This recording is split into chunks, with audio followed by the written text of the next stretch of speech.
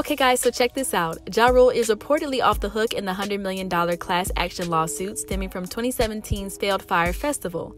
According to Billboard, Ja Rule, real name Jeffrey Atkins, and Fyre Fest Chief Marketing Officer Grant Margolin have been dropped from the ongoing case in an order filed November 7th.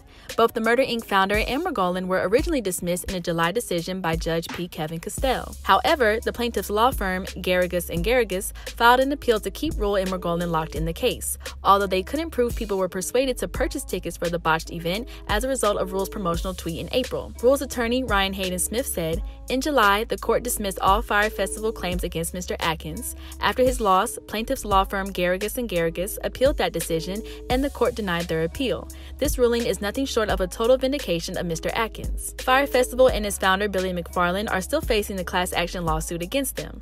McFarland was sentenced to six years behind bars for wire fraud in October 2018.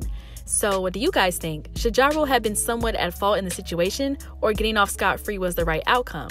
Let us know your thoughts in the comment section below. Hit that subscribe button and notification bell to stay up to date on all of our new videos. And as always, make sure to keep it all the way locked to hiphopdx.com.